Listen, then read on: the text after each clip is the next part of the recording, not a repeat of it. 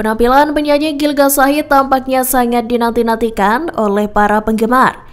Gilga selalu berhasil menarik minat masyarakat untuk turut berjoget bersama di setiap aksi panggungnya. Penyanyi asal Madiun itu juga totalitas dalam melakoni pekerjaannya sebagai penyanyi. Meski kondisinya tidak fit pun, Gilga tetap memaksakan diri untuk menghibur para penggemarnya. Hal itu diketahui dari unggahan Instagram at agun underscore sahid 14 asisten pribadi Gilga Minggu 24 September 2023. Dalam unggahan tersebut, Gilga tampak mendapatkan suntikan imun booster. Ternyata Gilga Sahid saat itu dalam kondisi kurang sehat. Namun ia tetap profesional dan menuntaskan kewajibannya itu. Gilga terlihat tampil menghibur para penonton yang hadir di Sportorium Universitas Muhammadiyah Yogyakarta.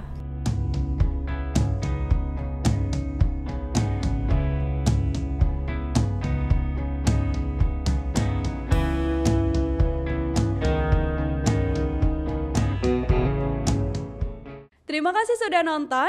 Jangan lupa like, subscribe, dan share ya.